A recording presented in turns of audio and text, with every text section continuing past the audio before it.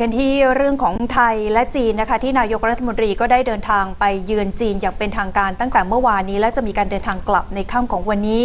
โดยไทยและจีนได้มีการลงนามความร่วมมือ 4 ฉบับ ยกระดับความร่วมมือตลาดทุนและตลาดเงินระหว่าง 2 ประเทศ พร้อมส่งเสริมความร่วมมือทางวิชาการในด้านทรัพยากรน้ำและการชนละประทาน ระหว่าง 2 ประเทศ โดยครอบคลุมการป้องกันและบริหารจัดการทรัพยากรน้ำอย่างยั่งยืนค่ะ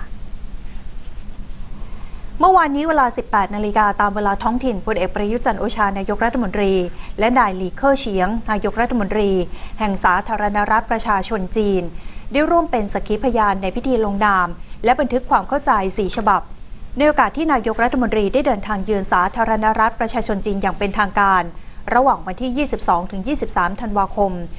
2557 ณ มหาศาลาประชาชน กรุงปักกิ่ง สาธารณรัฐประชาชนจีน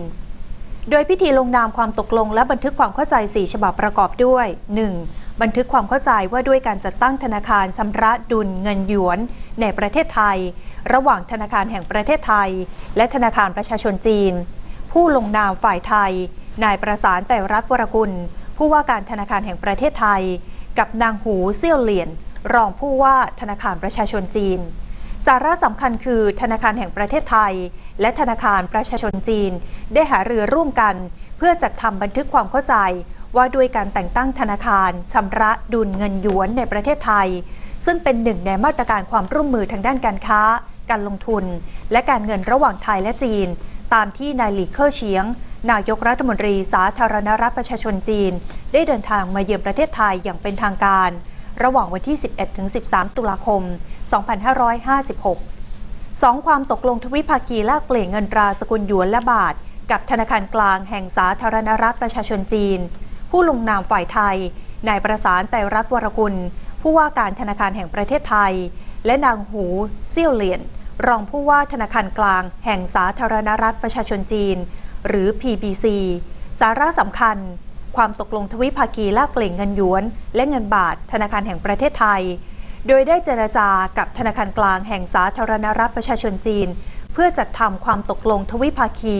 แลกเปลี่ยนเงินหยวนและบาทฉบับใหม่ ทดแทนฉบับปัจจุบันที่จะหมดอายุในวันที่ 22 ธันวาคม 2557 เพื่อเป็นนกลไกรองรับสภาพคล่อง กรณีการขาดสภาพคล่องเงินบาทหรือหยวน และสร้างความเชื่อมั่นแก่ภาคเอกชน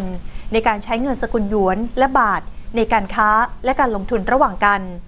นอกจากนี้ยังเป็นการสนับสนุนนโยบายการส่งเสริม ให้ใช้เงินหยวน เป็นเงินสกุลหลักในการทำธุรกรรมการค้าการลงทุนของจีน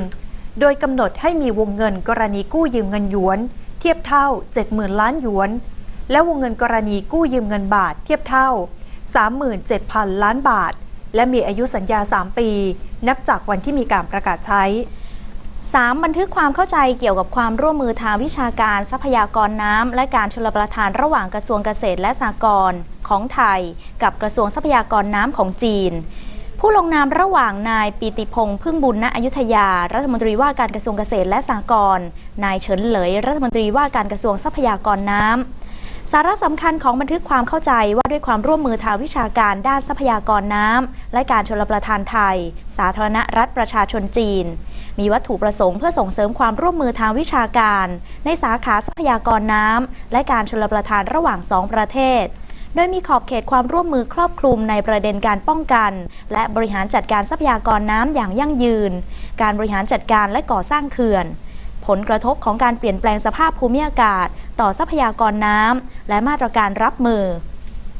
การควบคุมภาวะอุทกภัยและการบรรเทาภัยพิบัติ การอนุรักษ์ดินและน้ำ การชลประทานและการระบายน้ำ การประสานงานและร่วมมือในกิจกรรมที่เกี่ยวข้องกับน้ำในระดับนานาชาติ และความร่วมมือในด้านอื่น ๆ ที่มีความสนใจร่วมกัน ซึ่งทั้งสองฝ่ายได้หารือและเห็นชอบในร่างบันทึกความเข้าใจแล้ว 4. บันทึกข้อตกลงความร่วมมือระหว่างตลาดหลักทรัพย์แห่งประเทศไทย และธนาคารแห่งประเทศจีนจำกัด ผู้ลงนาม ระหว่างนายสถิตลิ่มพงพันธ์ประธานกรรมการตลาดหลักทรัพย์แห่งประเทศไทย และนายเถียนกัวลี่ ประธานธนาคารแห่งประเทศจีนจำกัด สาระสำคัญคือตลาดหลักทรัพย์ ยินดีให้ความร่วมมือกับ Bank of China ในการเข้าถึงตลาดทุนไทย การสนับสนุน เพิ่ม visibility ของตลาดทุนไทย ไปยังกลุ่มนักลงทุนจีน การนำบริษัทจีนเข้ามาจดทะเบียนในตลาดทุนไทย การส่งเสริมการให้ความรู้ ความเข้าใจผ่านการอบรม และกิจกรรมทางการตลาดของไทยและจีน 2. ความร่วมมือด้าน offshore RMB strategy รวมถึงการส่งเสริมพัฒนาการของ offshore RMB ในตลาดทุนไทย ประกอบด้วยศึกษาและวิจัยพัฒนาผลิตภัณฑ์ที่เกี่ยวข้องกับเงินหยวน